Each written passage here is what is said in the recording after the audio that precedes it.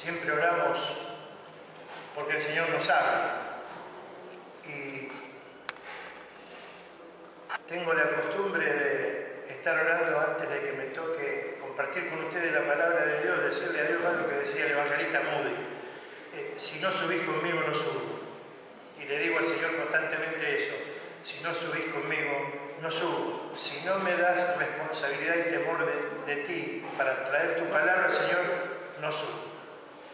Esta mañana, los que estuvimos en la escuela dominical, escuchamos a Héctor hablar de que empieza el año y todos tenemos proyectos, sueños, tenemos desafíos, tenemos que enfrentar diferentes etapas o diferentes sucesos que nos van, este, que se nos van presentando. Algunos este, lo podemos prever porque ya sabemos. Por ejemplo, este mes la van a operar a mi esposa, entonces desde ya estamos orando para que este, el Señor nos esté acompañando y esté resolviendo el problema. Si Dios nos guía a los médicos, va a ser difícil, pero cualquier intervención, y no esta especialmente, cualquier intervención, si Dios nos guía las manos de los profesionales y no, ponemos, no nos ponemos en las manos de Dios, no vamos a tener éxito. Entonces, pensando en estos desafíos que vamos a enfrentar en este año 2015, la Biblia nos enseña que si queremos sobrellevar en paz y confiado todos estos desafíos que vamos a enfrentar este año que empieza, tenemos que tener humildad y temor de Jehová.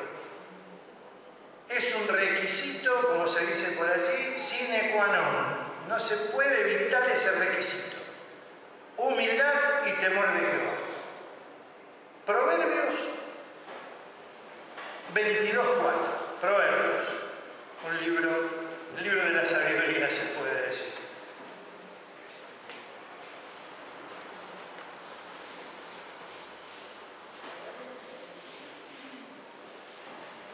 Dice allí la palabra de Dios, riquezas, honra y vida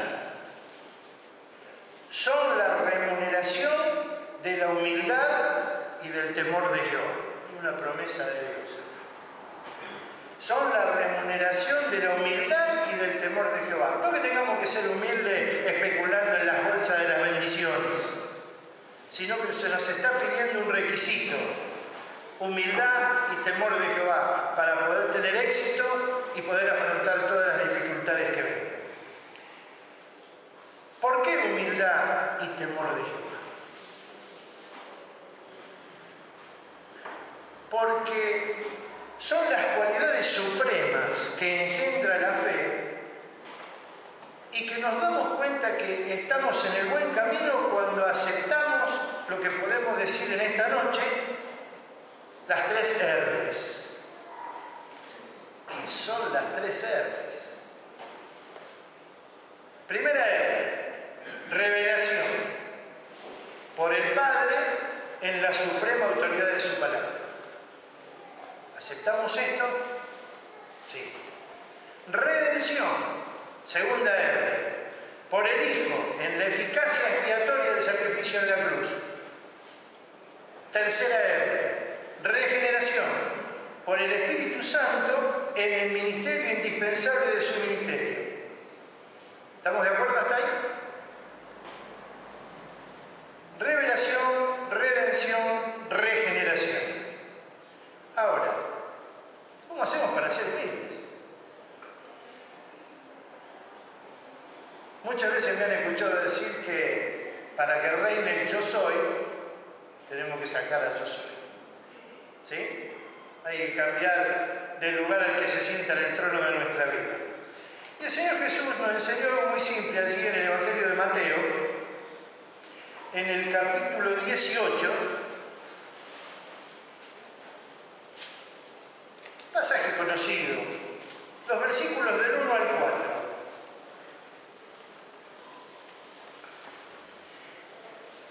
Hay un planteo que obviamente no tiene nada de humilde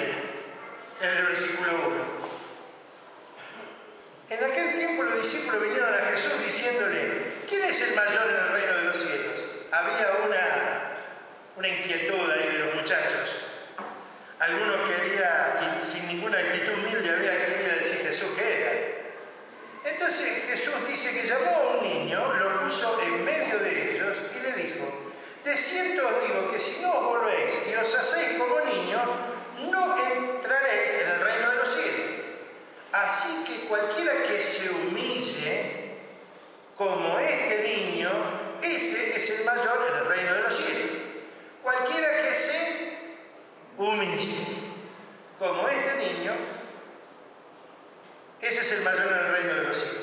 Ahora, muchos tenemos, o tuvimos, no tenemos ahora, pero tuvimos y algunos tienen ahora niños, chiquitos.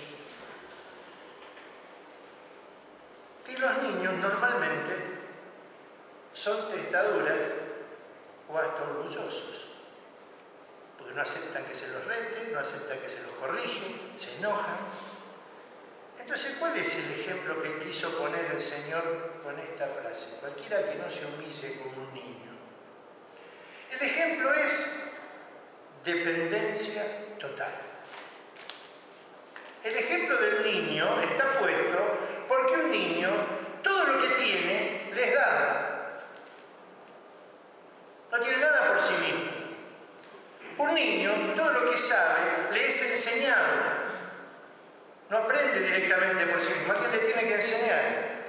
Al hacernos como ellos, nos estamos haciendo dependientes.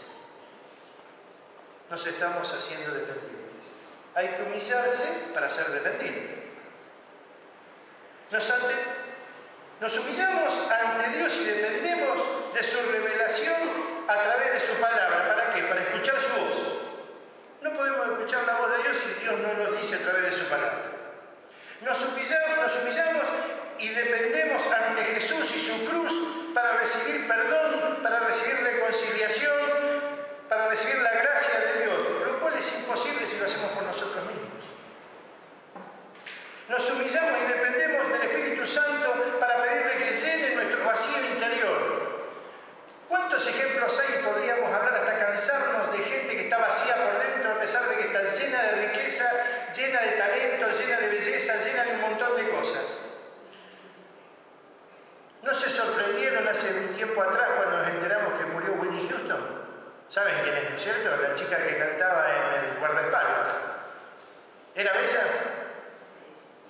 ¿Tenía una voz preciosa? ¿Tenía fama? ¿Tenía dinero? ¿Por qué se suicidó? por una sobredosis. Porque estaba vacía.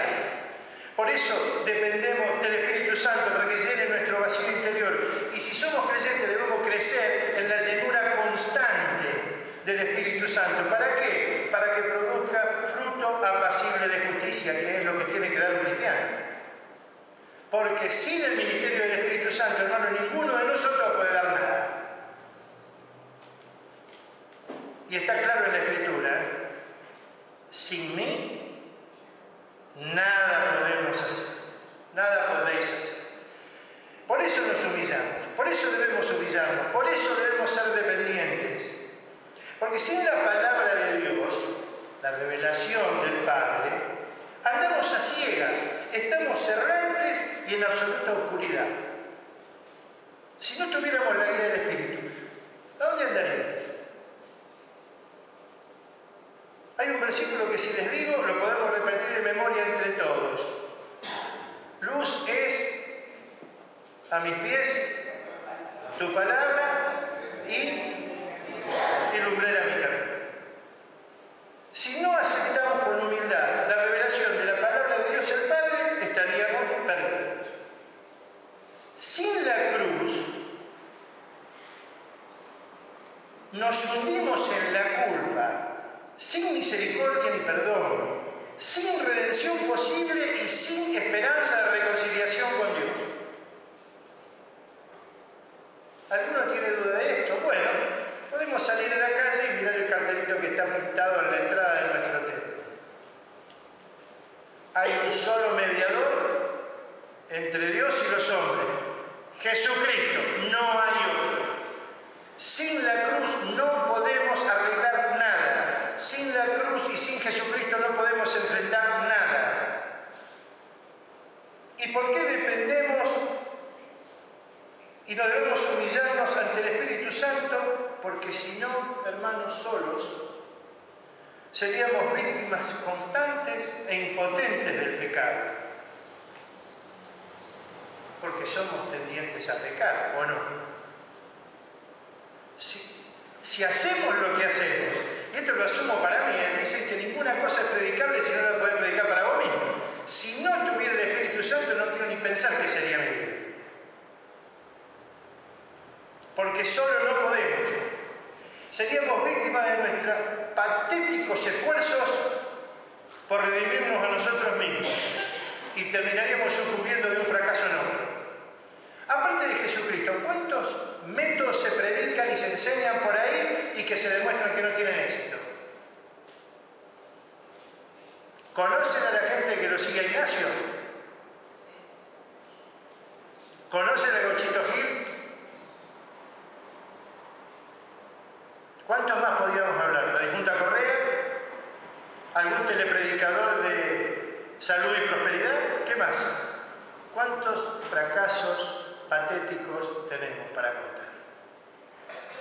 Sin la ayuda del Espíritu Santo, no podríamos sobrellevar nada.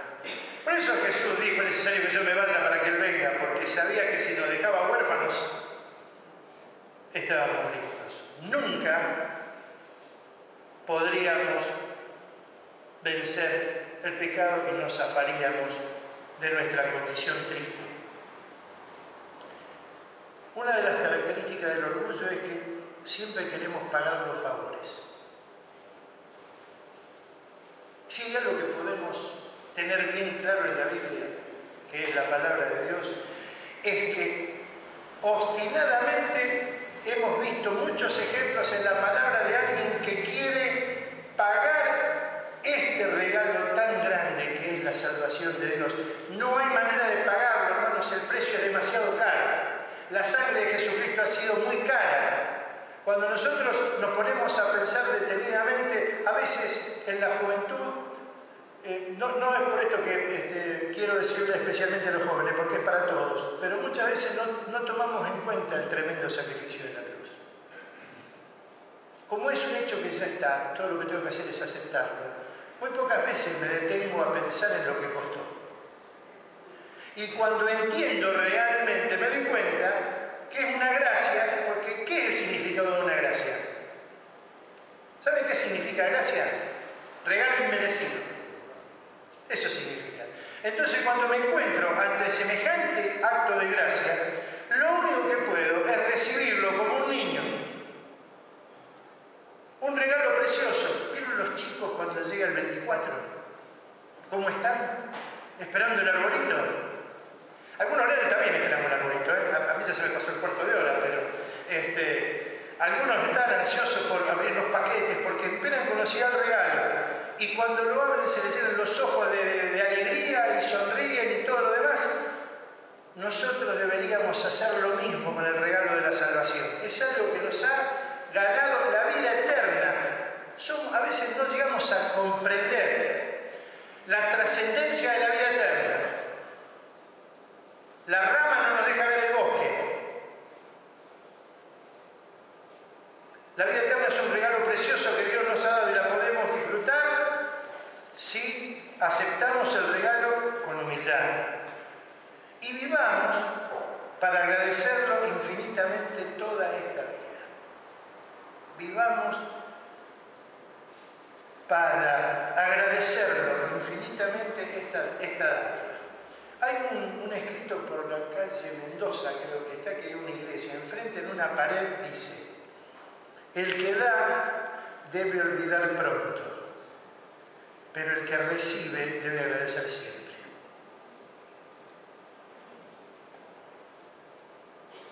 Encima Dios tiene la bondad de olvidarse de nuestros pecados cuando le pedimos perdón.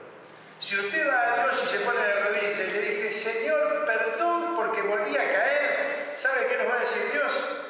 ¿En qué, hijo? Porque Él ya olvidó. Confesemos nuestros pecados, que Él es fiel para perdonarnos. Es un regalo, un regalo que hemos obtenido por la revelación de la palabra. el sacrificio de Cristo en su redención y por el ministerio del Espíritu Santo en el, el, ministerio que Él ha hecho para que podamos alcanzar esto y podamos verlo. Acompáñenme, quiero que leamos primera carta de Pedro,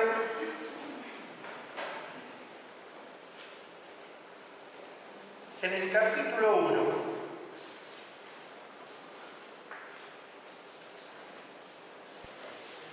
Y me encanta Pedro porque cuando nosotros leemos sus cartas y, nos acordamos de lo que era Pedro en los evangelios, eh, qué cosa maravillosa que hizo Dios con él, ¿no? Aún equivocado, ¿no? Siempre salía al cruce, Pedro. Entonces yo quiero que compartamos esto, porque aquí vamos a ver que Él está transmitiendo algo para nosotros, pero algo que Él también vivió. Dice desde el versículo 17 hasta el 23, vamos a leer. Dice, y si invocáis por Padre aquel que sin acepción de personas juzga según la obra de cada uno, conducíos con temor todo el tiempo de vuestra peregrinación. si decimos que somos cristianos, conduzcámonos con temor de Dios todo el tiempo de nuestra vida, sabiendo que fuiste rescatado de vuestra vana manera de vivir, la cual recibiste de vuestros padres, no con cosas corruptibles como oro y plata, sino con la sangre preciosa de Cristo, como un cordero sin mancha y sin contaminación. Este es el precio que se pagó. Ya destinado desde antes de la fundación del mundo, pero manifestado en los posteriores tiempos por amor a nosotros, mediante el cual creéis en Dios, quien le resucitó de los muertos y le ha dado gloria, para que vuestra fe y esperanza sean en Dios, habiendo purificado vuestras almas por la obediencia a la verdad, mediante el Espíritu, para el amor fraternal no fingido. Amaos unos a otros entrañablemente, de corazón puro, siendo renacidos no de simiente corruptible, sino de incorruptible, por la palabra de Dios, que vive y permanece para siempre, que es la revelación de Dios. Como dice Apocalipsis 1, la revelación de Jesucristo que Dios le dio, la tenemos acá, la revelación. Es la palabra de Dios, es la primera R la segunda es el sacrificio de Cristo y la tercera es el ministerio del Espíritu Santo. Si queremos enfrentar los desafíos de este año,